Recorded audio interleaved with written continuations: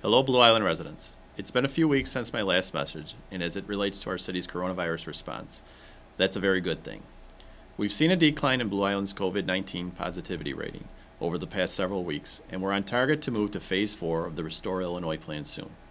Should everything continue heading in the right direction, you'll be hearing less from me as we move from the emergency phase of our response to the recovery phase, where city administration and the building and health departments are taking the lead to ensure Blue Island reopens safely.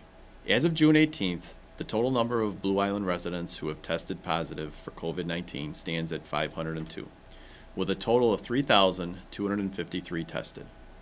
Since my last update, we've had no additional employees from the city test positive for COVID 19. The total number of employee positive cases since March remains at six.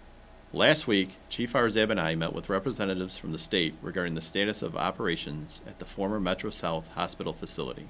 Currently, the building is at a state of readiness for use as a COVID 19 treatment facility and will remain so as the Illinois Department of Public Health assesses the pandemic and potential for a second coronavirus outbreak later this year.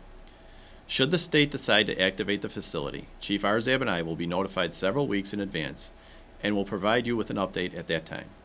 In his video message last week, Mayor Vargas directed city department heads to prioritize activities that help reopen Blue Island's economy and the community in the safest manner possible.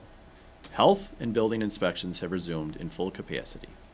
As a reminder, if you are a bar or restaurant owner utilizing space for your outdoor seating, you must email the seating layout and capacity plan to Building Department official Ahmed Sandino at asandino at cityblueisland.org.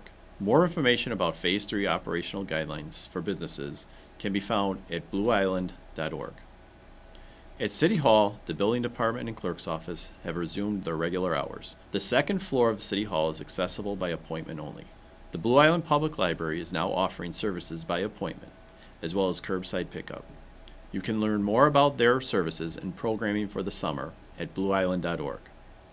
The John D. Rita Recreation Center, including outdoor playground and athletic fields, remain closed during Phase 3 of the Restore Illinois plan. As a reminder, we should continue the habits we've adapted over the last several weeks to help keep ourselves, our loved ones, and our friends and neighbors safe. Keep a safe social distance of six feet or more inside public places, and wear a face covering if you cannot keep a safe distance. Please avoid touching your face and wash your hands often.